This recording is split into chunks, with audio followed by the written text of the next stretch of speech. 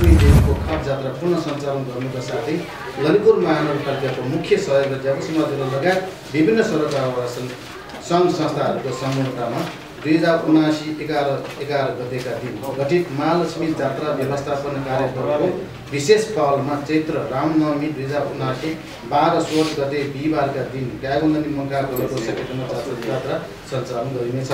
महालक्ष्मी जात्रालाई निरन्तरता दिनका लागि महानगरपालिका तथा वडा नम्बर पाँच कार्यालय ज्यापु समाज एल जात्रा व्यवस्थापनको लागि गठित कार्यदलसँग हातेमालो तथा सहकार्य गरी काय गुणनी मङ्का खलद्वारा महालक्ष्मी जात्रालाई व्यवस्थापन गरी पूर्ण सञ्चालन गर्न लागेको छ। मूर्तिहरूलाई विराजमान गराउने सिलसिलामा अन्तिममा जात्राको मुख्य महालक्ष्मी देवी खतमा विराजमान गरिए पश्चात पुजारी बेहोस हुनेछ।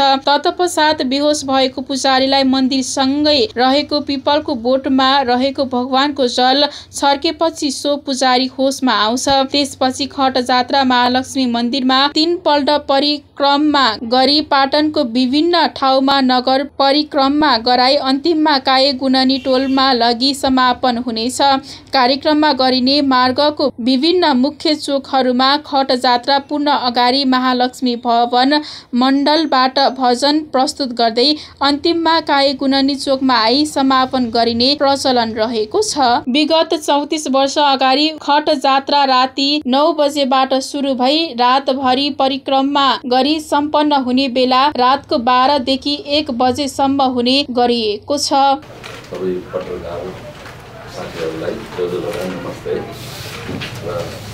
हाम्रो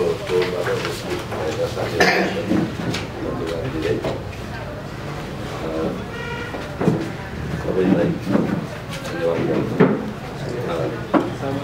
त्यसै गरी यो जात्रा हामीले पहिला चौतिस वर्ष अगाडि त्योभन्दा पहिल्यैदेखि जात्रा हामीले गरेर आइरहेको चौतिस वर्ष अगाडिदेखि बन्द भइरहेको हाम्रो टोलको सय वर्ष भएको बाजेले पनि कहिलेदेखि गरेको जात्रा भनेर थाहा नभयो अब यो जात्राको कहिलेदेखि जात्रा भइरह्यो भने पहिलादेखि चलन त्यस्तो केही थिएन। त्यही भएर यो कहिलेदेखि सुरु भयो अब बन्द भएको त हामीले भन्न सक्यो चौबिस वर्ष भएको। अब यो सञ्चालन गर्नलाई हाम्रो विकास मन्त्री विकास मन्त्री व्यापक समाज सबैको साथ लिएर हामीले सञ्चालन यस वर्षदेखि सञ्चालन गरिरहेका छौँ।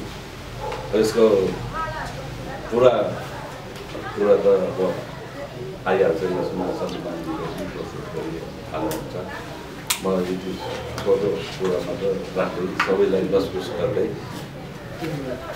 लसकुस गर्दछु महालक्ष्मी भजन मण्डलबाट भजन प्रस्तुत गर्दै अन्तमा ट्यागोनी चोकमा सम- समापन गरिने प्रचलन छ।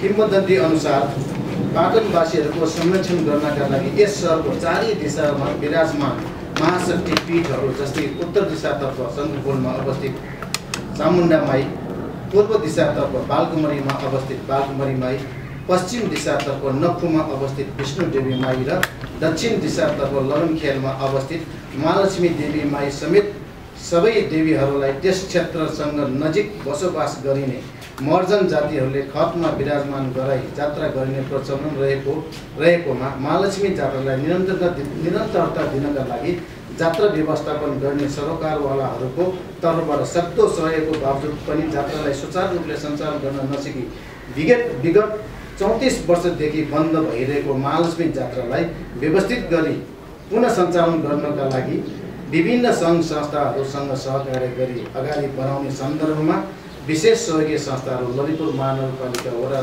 तथा वडा नम्बर पाँच कार्यालय जब समाज जिल्ला जात्रा व्यवस्थापनका लागि गठित कार्यदलसँग हातेमालो गरी तथा सहकार्य गरी कायलमनी मङ्गा खलद्वारा महालक्ष्मी जात्रालाई व्यवस्थापन गरी पुनः सञ्चालन गरिनेछ। महालक्ष्मी देवीको खट जात्रा गर्नु एक हप्ता अगाडि लघु थर्चिटोल निवासी पुजारी देवलाको घरमा राखिएको महालक्ष्मी देवी लगायत अन्य बाह्र देवी देवताहरूको मूर्तिलाई रङ्गरोगन कार्य गर्नु गर्नको प्रत्येक एक वर्ष।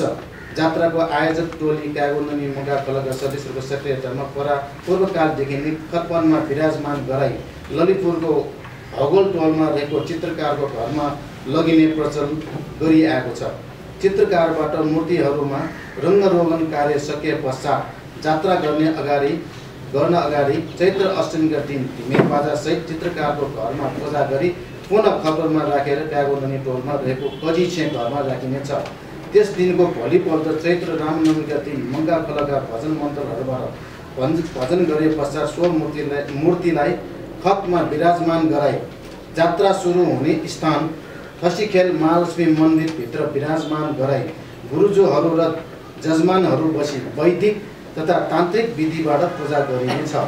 पूजा सकिए पश्चात उपस्थित सम्पूर्ण व्यक्तिहरूलाई महालक्ष्मी देवीको प्रसाद स्वरूप समयपछि खुवाइनेछ त्यसपछि मन्दिरमा विराजमान गरेको सम्पूर्ण मूर्तिलाई पुजारी बेलाले उठाई जजमानलाई दिनेछ भने जजमानको हातबाट खतमा विराजमान गराइनेछ। मूर्तिहरूलाई विराजमान गराउने सिलसिलामा अन्- अन्तिममा जात्राको मुख्य महालक्ष्मी देवी खतमा विराजमान गरे पश्चात पुजारी बेहोस हुनेछ। तत्पश्चात बेहोस भएको पुजारीलाई मन्दिरसँगै रहेको पिपलको बोटमा रहेको भगवान्को जल सकेपछि सो पुजारी होसमा आउँछ।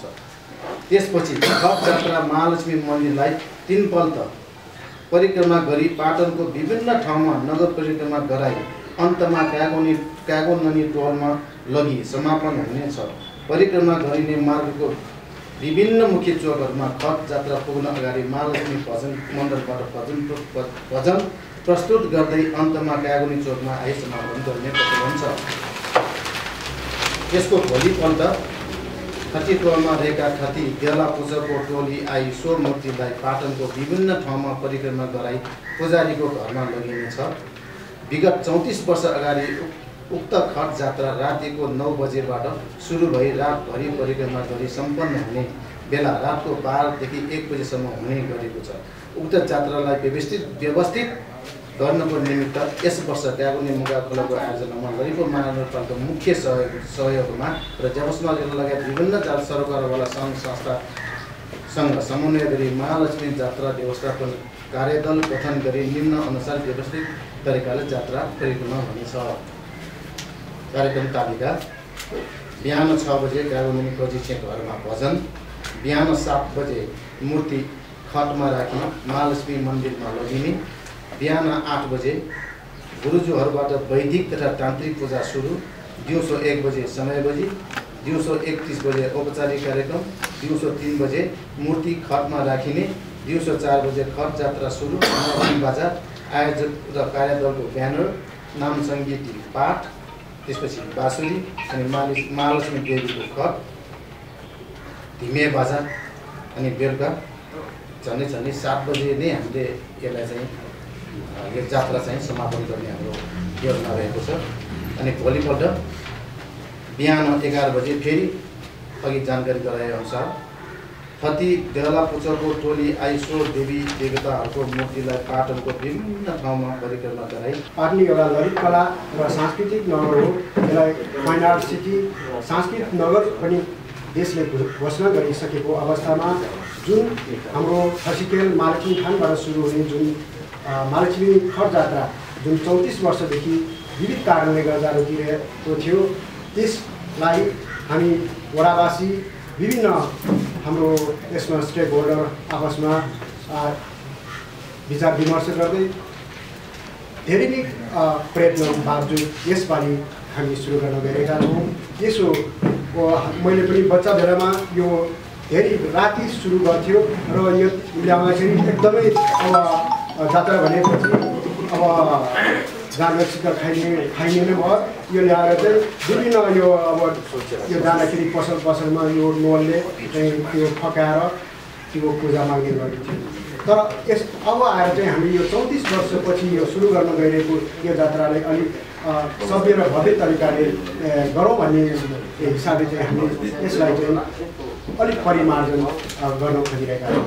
यसको लागि यसको यसको लागि मुख्य यसको लागि आर्थिक सहयोग हामीले ललितपुर महानगरपालिका जुन संस्कृति पर्यटन व्यवस्थापन कमिटीबाट हामीलाई आठ लाख रुपियाँ यसपालि छुटेको छ र निकट भविष्यमा यसलाई चाहिँ हामीले चाहिँ यो के के कोष? दरबन्दी। अक्षय कोष। स्थापना गर्ने पनि हाम्रो योजना रहेको छ ताकि यसलाई चाहिँ अब कुनै कारणले यसलाई चाहिँ फेरि यो जात्रा रोक्न न नजाओस् भन्ने हिसाबले। त्यसो भएको हुनाले यसलाई चाहिँ सभ्य भव्य तरिकाले हामी गर्ने सिलसिलामा हामी तिन बजे नै जात्रा सुरु गर्छौँ। जात्रा सुरु गर्ने बेलामा सर्वप्रथम नाकी बाजा हुन्छ। त्यसपछि ब्यानरसहितको हामी व्यवस्थापनका सदस्यहरू त्यसपछि हामीले चाहिँ यो टोल यतातिर भेगको महर्जन टोलहरू जस्तै हौगल चावाल इवाल काउलेन त हुने नै भयो। ती टोलका हाम्रो नाम समिति भजनहरूलाई पनि त्यहाँ राख्छौँ। त्यसपछि आएर चाहिँ खट जात्रा त्यसको लगतै हामी यही चारवटा टोलको ढिमे बाजाहरू पछि बसेर पछाडि बसेर हामी यो जात्रालाई यो तरिकाले लाने गरी कोसिस गरिरहेका छौँ।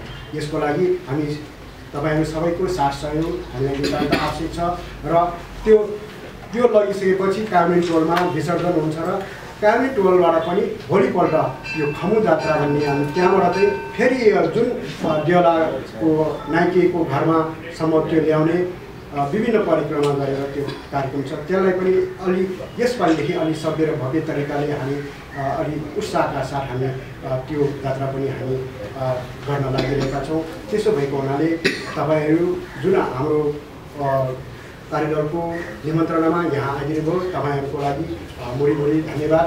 र तपाईँहरू